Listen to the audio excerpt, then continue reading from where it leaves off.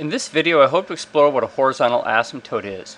So here I'm given a rational function and my goal is to find the equation for the horizontal asymptote. That is the equation for the horizontal line that this graph appears to approach as x gets very large in the positive direction and very large in the negative direction. So for example, if you look at small x values, finite x values, the graph actually looks vertical and takes on all kinds of outputs. But as you trace to the right here, the larger the x values become, it looks like the pattern is that the y values get smaller and smaller. In fact, it looks like they get closer and closer to zero.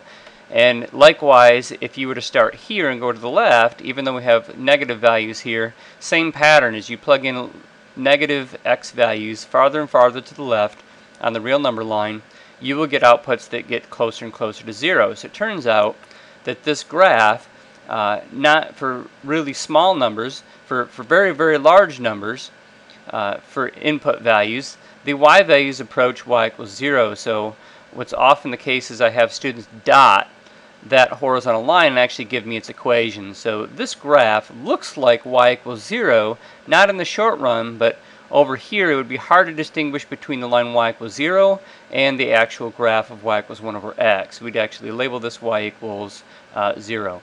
So to show this numerically why this happens, I have a table down here. So here's an example where you have a fixed numerator and your denominator is going to change and like I said up here, we want to let x change so that it just gets bigger and bigger and bigger. So if I was to let x be 1, for example, you would get that y is equal to uh, 1 over x, which is 1 over 1. Well, that's just the number 1. So all that's saying is if you were to uh, plug in x equals 1, you'd get y equals 1. That's that single point right there, uh, 1 comma 1. So let's uh, jump over, and it's not on my list here, but let's say I was to plug in 10. Uh, if you were to plug in 10 uh, for x, you'd get that y is equal to 1 over 10. Uh, in mathematics, uh, 1 tenth uh, can be simplified as 0.1. So if you look at an x value of 10, which isn't even on my list, actually it's right here, I think this is 10 right here. If you plug in x equals 10, your y value is already really, really small. Here's 2, uh, so here would be a y value of 1. I'm supposed to plug in the point, or plot the point rather, uh, x equals 10, y equals 0.1. It's so close to the uh, x-axis here, you see that the curve is right there. So this point right there, uh, it's difficult to see now. Let me uh, get rid of this stuff. This point right here at 10 comma 0.1 is really, really close to the line uh, y equals 0. And then this pattern just continues. The larger the x value, uh, what happens is your denominator is going to be larger. So now instead of having a denominator of 1 or 10, when I plug in x equals 100, again, fixed numerator, my denominator is now going to be 100. So rather than having 1 over 1 or 1 over 10, now it's 1 over 100, which in mathematics is 0.01. So you can see that the larger the x value, the smaller the denominator. And in mathematics, if you have a very large denominator, then what happens is the fraction itself gets smaller. So the larger you make x, the smaller the y value will get. And by the way, this pattern is also true for negative numbers. Had we plugged in, say, uh, negative 1, well, then you would have just had negative 1 over 1. Actually, you would have had 1 over negative 1. Uh, and that would simplify down to be negative 1, which is this point uh, right here. That would be if I plugged in negative 1, you get out negative 1. So let me go over to negative 1. The output would be negative 1 right there. And as you can see, I meant for that to be black, uh, the pattern would be the same as before, except the outputs would be negative, but they would still uh, get really, really small as your denominator got bigger in the negative direction.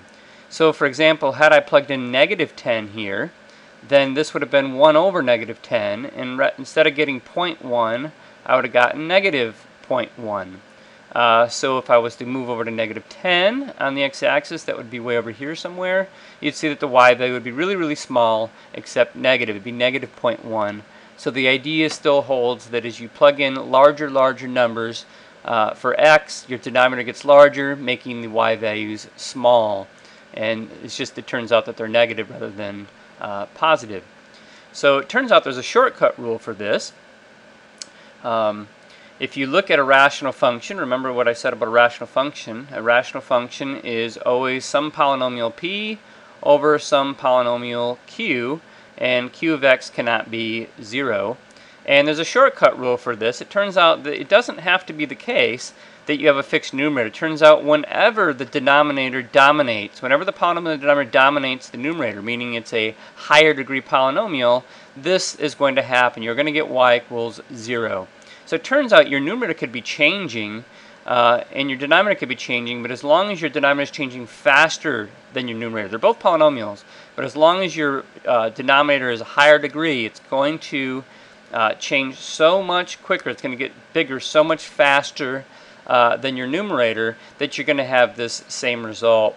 So this leads to a general shortcut rule that says if the degree of the polynomial in the numerator is less than the degree of the polynomial in the denominator, then you'll get y equals 0 as an asymptote. So shortcut rule number one, if the degree uh, of the numerator is less than the degree of the polynomial in the denominator, you will always get this horizontal asymptote be the horizontal line y equals 0 and that gives you the equation of a line. It's deceptive, it looks just like a y value, but it's the equation of a line and that equation would be y equals 0.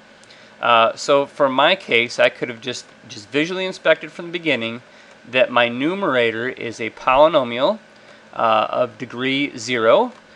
Polynomials, uh, constants are polynomials of degree uh, 0.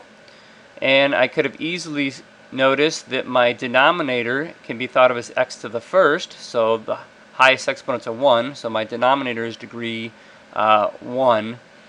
And then since 0 is less than 1, what I have is the numerator, uh, the degree of the numerator rather, is less than the degree of the denominator.